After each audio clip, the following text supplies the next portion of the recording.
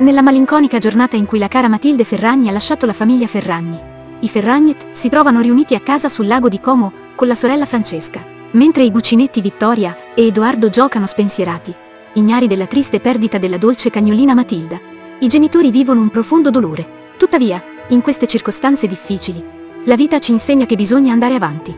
La perdita di un amato animale è un'esperienza dolorosa, ma fa parte del ciclo della vita. La famiglia troverà la forza di superare questa prova, mantenendo vivo il ricordo di Matilda nei loro cuori, i momenti trascorsi insieme. I ricordi felici e l'amore condiviso resteranno per sempre con loro. Ogni passo avanti sarà un omaggio a Matilda, la cagnolina dolce che ha lasciato un'impronta indelebile nella loro vita.